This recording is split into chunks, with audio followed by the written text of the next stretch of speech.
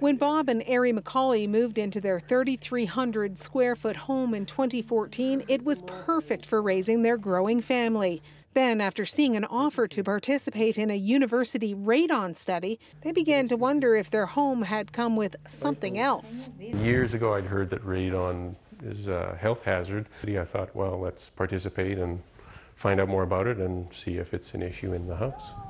It was. The McCauley's radon reading was nearly twice what Health Canada considers acceptable.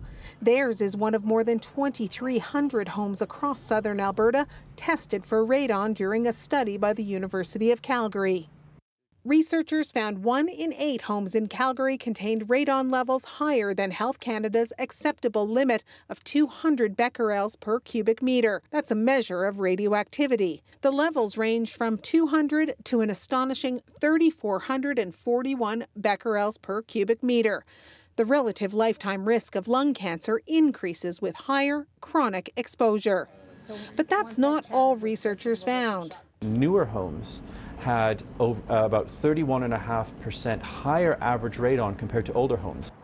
Homes built in the past 25 years tend to have more square footage and are taller, so they act like giant chimneys sucking in radon gas from the ground. They also tend to be more airtight to save energy, so the dangerous radon gas is trapped in the home. The McCauleys spent $2,500 to fix the problem. A pipe drilled through the basement floor and a sealed fan system have done the trick. Uh, why not spend the money and, and make it basically radon free and eliminate the odds of uh, her and her little brother getting lung cancer?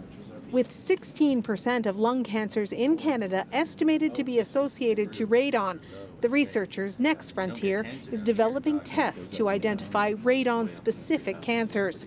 Carolyn Dunn, CBC News, Calgary.